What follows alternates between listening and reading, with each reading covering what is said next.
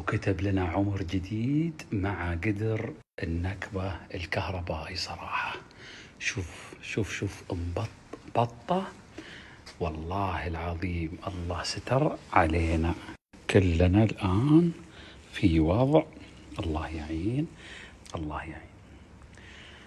شو المشكلة في هذا قليل الحياة؟ طبعا فتحت الصفارة اللي فوق هذه. فتحت الصفارة هذه. وراح الهواء كله. لكن باقي أثر المرقوق إذا صرت معبى فل يجي ويسكر المناسم هذه. شفت المناسم ذي؟ تتسكر وما يطلع يتنسم. شوف حتى انطعج انطعج من قوة الحرارة. فالله ستر علينا. والله فتحناه فتحة وانبق علينا وعدم الدنيا عدام. انفجار قوي قوي قوي.